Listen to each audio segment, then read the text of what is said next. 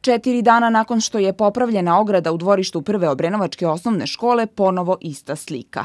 U noći između srede i četvrtka oko ponoći dogodila se saobraćena nezgoda. Kako nezvanično saznajemo, dva mladića su povređena nakon što je vozač koji je upravljao vozilom zbog neprilagođene brzine sletao sa puta i udario u školsku ogradu. Bukvalno za nedelju dana dve saobraćajne nezgode na istom mestu.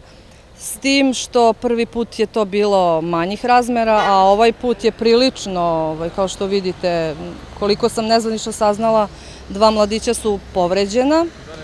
E, ja zaista, svi smo u šoku, zaista, zaposleni, roditelji, prolaznici, ne, nemoguće je da za nedelju dana na istom mestu dve saobraćene nezgode.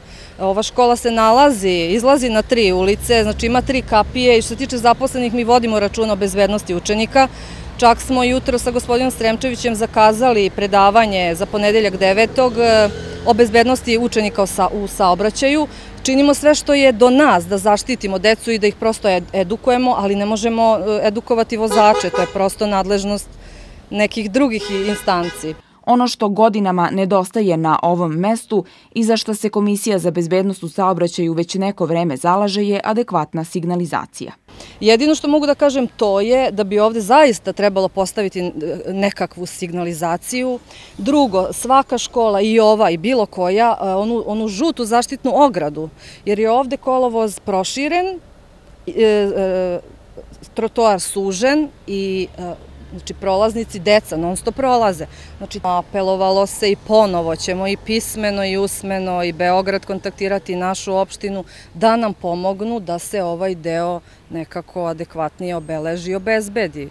Ovo je osnovna škola, svejedno i da je bilo koja druga ustanova, prosto, evo, očigledno da je nebezbedno ovde za prolaznike i za učenike uopšte.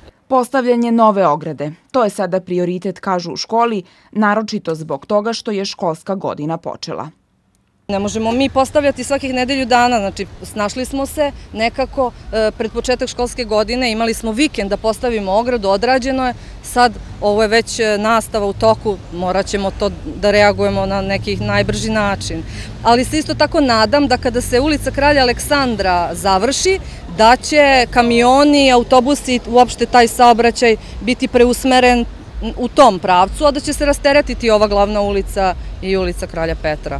Jednostavno apel tim mladim ljudima koji oko ponoći voze ovuda jeste da je saobraćaj ređi oko ponoći, ali to, im ne daje za pravo da voze e, pet puta više od dozvoljene brzine.